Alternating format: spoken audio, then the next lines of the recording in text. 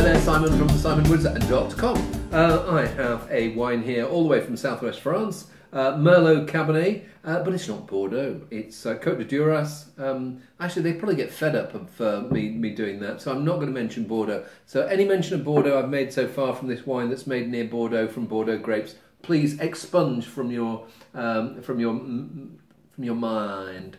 Um, and uh, anyway, it's Domaine de Grand Mayne, um, Merlot Cabernet 2015, and um, so let's just give it a whirl.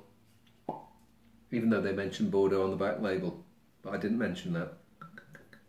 Well, it just oozes out of the glass with this uh, cassis and uh, plummy intensity, and uh, makes you it makes you want to go. yeah, I want to get my nose in there, and I want to get my mouth around it, and uh, it smells as if um, uh, things got ripe, but they didn't get too ripe. There's a slight edge of um, uh, a slight leafy quality, not underripe, but um, yeah, this herbal uh, herbal intensity that um, uh, hopefully will, will be giving some freshness to these slightly more voluptuous plummy blackcurrant and blackberry flavours.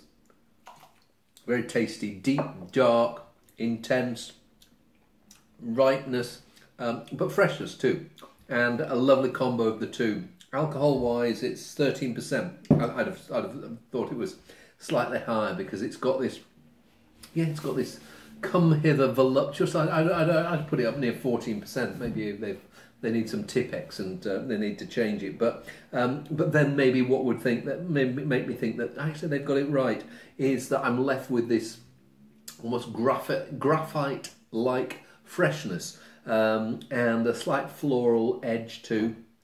Mm. Has me going. Uh, so there's there there is this juicy ripe fruit, but there is this um, uh, framework of a uh, little bit of fresh acidity, uh, but tannin there that's uh, holding everything together, making me think it's going to age rather well. Um, although it's looking pretty nice at the moment. Um, so if you did want to pull the cork now, it's certainly been no crime and uh, it's but it's very tasty and I can't remember the price but uh, I think um, I, I, I, think you'd have to pay considerably more than uh, uh, than the price that they're asking this to get a Bordeaux of um, of similar caliber. But uh, so here we go. Down the hatch